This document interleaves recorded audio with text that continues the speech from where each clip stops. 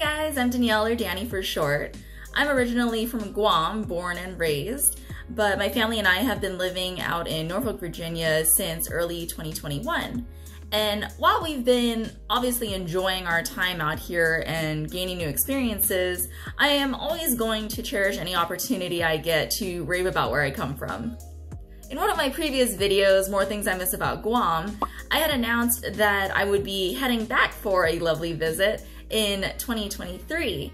And now that we are in the new year and the time is getting closer, I am just getting so excited to finally head back. Uh, of course, to see family and friends, uh, but also to go back to some of my favorite places, um, revisit a lot of my favorite sites, and also to gain new experiences while I'm there. So for today's video, I thought it'd be great to share how I am planning for this trip back to Guam everything from my flight reservations to lodging to personal itinerary, and of course sharing about some of the new things that I've heard about that have you know come up since the last time I was there because I know there's so much more to explore when I go back. Don't forget if you find this video informative or entertaining in any way then please give it a like and let's get into it.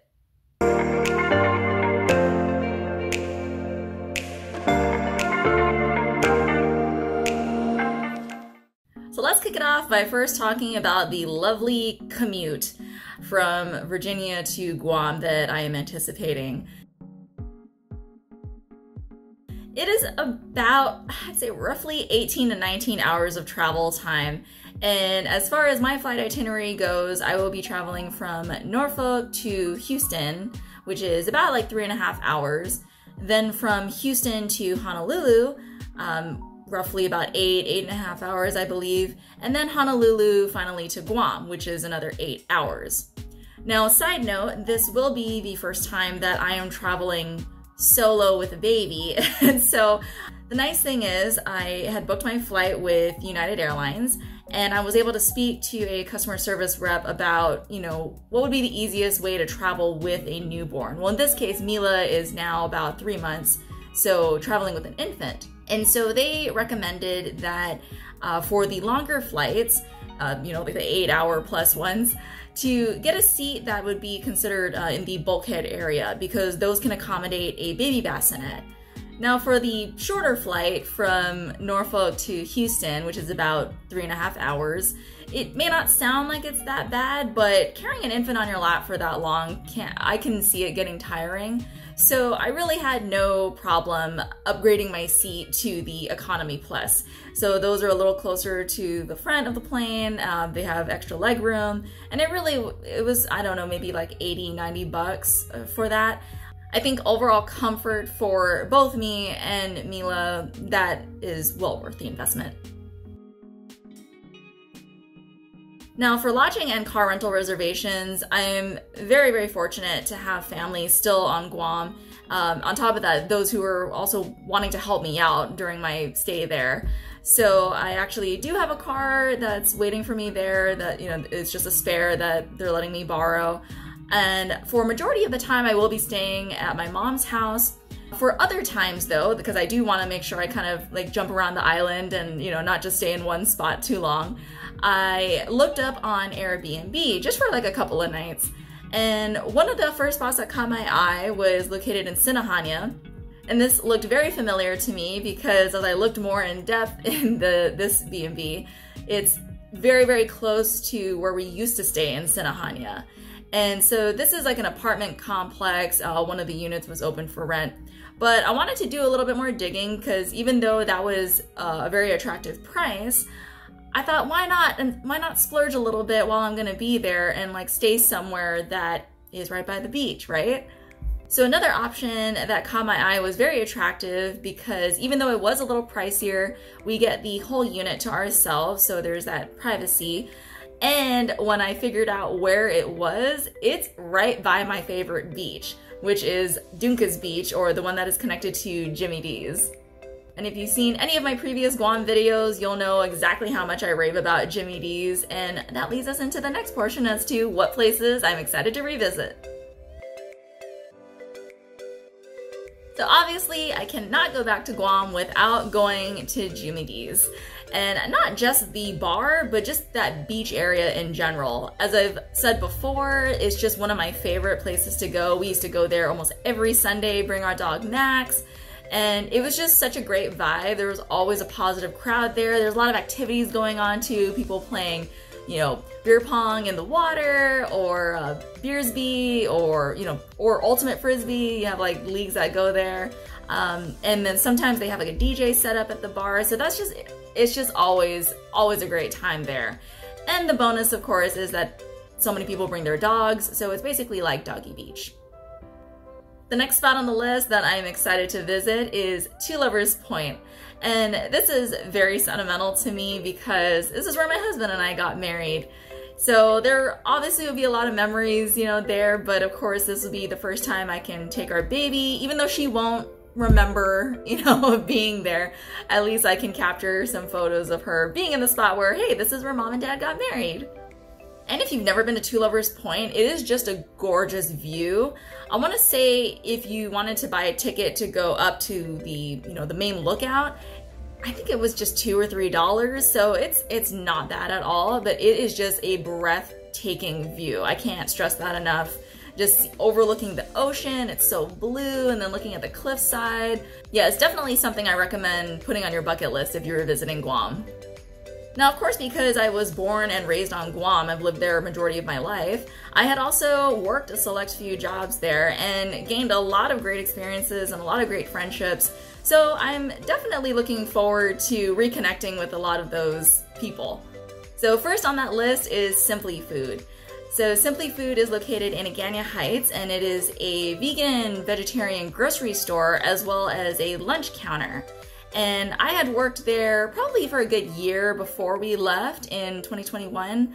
Uh, but during the short time that I did work there, I there was just this really great family feeling among my coworkers and my bosses and obviously working a job where you don't feel like it's a job is is such a highlight of your day. On top of that, the food they serve is so good and even for me not being vegetarian like i could see myself converting because their food is so good. But they have awesome daily specials. I wonder if they still have the same ones. I, I really loved their monday chamorro plates their wednesday indian special um, the soups. I love the soups that they make there and their baked goods. I have to say my favorite baked good at simply food is the zucchini muffin. It would be the zucchini muffin and then the whole wheat cinnamon rolls but I know for a fact once I go back to say hi to everybody, I'm probably gonna snag about six of those zucchini muffins just to last me the week uh, until I make another trip back there. The other spot that I used to work at that I can't wait to revisit is, of course, Horse and Cow, which is located in Tamuning. Horse and Cow is a restaurant slash bar, and I was the bartender there for about four years. Yeah, so you know, if I was there for that long, you can only guess that I loved it so much. But that was just one of those places where again you didn't really feel like you were working because your customers were great your coworkers were you know awesome to hang out with at the same time and even on top of that after i would get off my shift i would like hang back for two hours just because it was such a good vibe all the time and I want to say, even when we were off, like on the weekends, we would still come back. My friends and I would go back to where I worked just to hang out there because it was such a great time. But yeah, definitely want to hit up their wing night if they still have it, fingers crossed. And I know that I'm going to be on Guam during Super Bowl, and Horse and Cow always holds an awesome Super Bowl party. So if they are doing one this year, I plan to attend for sure. Now, another thing I can't wait to partake in is the Wednesday nights at Chamorro Village, located in Agana. The Chamorro Village hosts an awesome night market every Wednesday, and that just features a lot of awesome food and craftsmanship, culture, and entertainment. And it's just really one of those things that you have to go like at least once if whenever you're visiting Guam. So even though yes, I've been there before, it you know during COVID time it was like shut down. So I, I really do have to indulge when I go back. Um, yeah, you can bet I'm gonna have a huge fiesta plate with me there. And while we're on the subject of awesome food, one of my favorite restaurants that I can't wait to go back to is Capricciosa. This is a Japanese and Italian fusion style cuisine, and my favorite dish there is definitely the spicy tomato penne. And for people who know me well enough, I love cooking my own food. However, this dish I have not been able to recreate yet.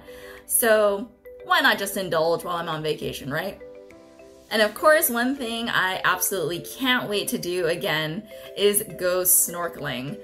The waters on Guam, gosh, what can I even say about it? I mean, it's just so inviting, so blue, so vibrant. And the fact that you can see to the bottom, I, I feel like that makes me more comfortable uh, swimming in open water. But on top of that, the water is nice and warm. I know that's gonna sound very pampered, but we we've gone to a couple of beaches out here in Norfolk and the water is cold, you know, that's like the Atlantic Ocean, so very different, but um, yeah, I cannot wait to go like snorkeling again just because the marine life too. Like anything you see you're always bound to see something so cool when you go snorkeling. So a lot of my favorite spots include fish eye and gab gab. Gab gab is located on the naval base but anytime that we've gone snorkeling you're always bound to see something really cool like turtles or jellyfish or black tip sharks. Yeah, I never thought I would ever say that I'd be excited to see a black tip shark, but apparently it's not something you would, you know, just see every day. So when you do see one, it's it's really cool. Now, along with revisiting some of my favorite spots, I also am hoping to gain some new experiences, or they're just other things that I'm hoping to partake in while I am there on Guam. One of the things I hope I can do is attend a village fiesta. It's been a while since I've been to one, not just because I haven't been on Guam, but even when I was, um, I don't know, there was just something that I, you know, it kind of fell off my radar for a bit, but it's such a great experience to have. The food, okay, I know you're gonna hear me say food a lot, but the food is just incredible because when you have one large village fiesta, you're featuring dishes from so many different families. So multiple different recipes throughout generations being passed down. And it is just that family feeling, that very, you know, welcoming community that Guam provides. That's always something that like who who could even not enjoy that? Along with the awesome food and friendly people, I can't wait to watch people do the cha-cha. You know, the dance floor is also another big part of the entertainment some of like the songs that will always kind of run through my mind that always play at fiestas like uh gosh what it honey baby my honey baby. That's what um under the boardwalk. Oh i love you like a mango that that has to be one of my favorites. Yeah it's just one of those awesome things that brings you back to your childhood because we used to go to fiestas at least like once a month. So fingers crossed. I don't know if there are any happening in February or if there will be any going on while we're there. And if not, then I maybe I might have to coax my mom into throwing one for us just to get the experience. Another thing that I'm really hoping to experience while I am visiting Guam is attending the Valley of the Latte tour this is something that I had kind of seen on, you know, some of my friends' pages, my families who have attended the tour, and I never got to go. So this time around, for sure, I, am putting it on the list. I'm putting it on our itinerary. From what I've been told, it's basically a cultural tour, and it also includes an adventure park or a cultural center. And so not only does it look like, from what I've seen on the website, not only does it look like a very, you know, scenic experience, but also a very, you know, just culturally educational one. And for me, you know, wanting to kind of stay close to my roots, I think that'd be a great thing to take part in. And it's down south in Talofofo, so it'll be nice to kind of get a change of scenery also and go to a little bit more of like the quieter part of the island. Something else I'm also looking forward to I kind of have to provide a little brief backstory, but before we left Guam, I got big into rhythmic cycling. It just became part of my exercise regimen, and it was something that my sister and I, you know, liked doing together a lot. Then, after we left Guam, she spent the next, you know, several months training and eventually becoming an instructor. So, not only was I missing the the exercise itself, but then I was missing the experience of her being a teacher, being an instructor. So, the good news is she is opening her own studio. Yes, her own rhythmic cycling studio. And I believe it will be open by the time we make it to Guam. So fingers crossed that I can take one of her classes or a few more than just one. But uh, yeah, that's something I'm definitely excited, not only because I like rhythmic cycling, but just to go and, you know, support my sister doing what she loves. I can't wait to experience that. If you want to check them out, their studio is called Made Wild. You can find them on Instagram. Lastly, something else I am super excited to do while we're on Guam is make my new dance video. If you haven't seen the first video I made dancing around Guam, I'll leave a link above and below that you can check it out. But I thought, why not, because I never know how often I will be going back to Guam, why not commemorate it by making another dance video, something I love doing already. But this time, what I'm super excited about is rather than just featuring myself dancing around Guam, I am going to be pulling in a lot of my dance colleagues people who I used to dance with before or previous students, um, family, friends. So that one's gonna be a lot of fun because I get to incorporate a lot of close relationships I have on the island. Not only will this be so awesome to feature the talent among the dance community on Guam, but I will also be able to showcase the beauty of Guam all over again. So we'll be picking a couple of our favorite sites and scenes around the island and shooting our choreography there. I definitely can't wait to visit Guam again, and more so, I can't wait to refresh a lot of my Guam material and continue showing you guys why it's such an awesome place to call home. I hope you guys enjoyed the video today. If you did, then please give it a like. And of course, if you want to check out all my other videos exploring around Guam or also to catch all the new stuff I post about the island, especially after this trip, then consider subscribing to the channel so you can check those out there. Thanks for watching, and I'll see you on the next video. Bye!